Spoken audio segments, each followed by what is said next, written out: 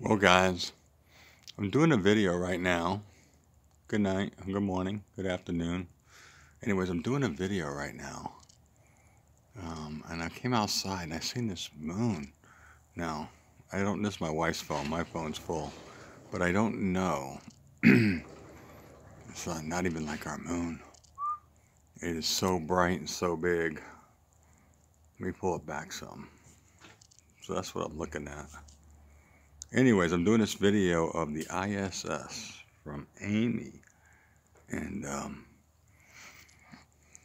it's like a drive-up movie theater, like a um, drive-in theater. It's like a big old screen of, like, let's say, Cancun. Looks like a beach and a sun and all. But it's on a screen. So get ready. That video's coming out. I just wanted to throw this up there real quick.